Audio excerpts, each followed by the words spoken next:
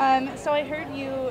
Are you a big skate fan, um, like the rest that I've heard? So I was a skate punk uh, in the late '80s. I had the Vision Streetwear shoes, the whole outfit. I sucked. I was terrible. I couldn't. I couldn't even ollie. Um, so I was a disappointment to myself. But I mean, I used to watch all the skate videos, and I was a huge fan of Bones Brigade. I had the Mike McGill board, and um, you know, to be able to like work hand in hand was like, I got to do this.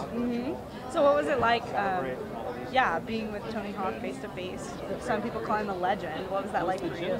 He is a legend for sure. He's very laid back and very uh, introspective and thoughtful, which I think you'll see in the movie. Um, and you know, I think that most people's experience is you you meet people that are larger than life, and you realize like there's something about them that makes them unique and special. And the thing about Tony that always strikes me is um, his ability to get back up off of whatever happens to him. He snapped his femur three days ago, and he's here at the festival.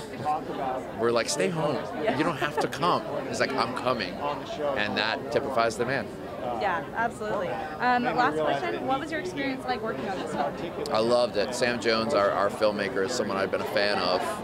Um, he made this incredible documentary about the band Wilco, I'm Trying to Break Your Heart, about 20 years ago. Um, and what he was able to do and sort of elevating it beyond a music documentary to really the human story elements, you know, that's what the goal was here. It's a skateboarding doc, but it's about a lot more than that. And so um, he was just so great to work with. So, thank you so much. Cheers.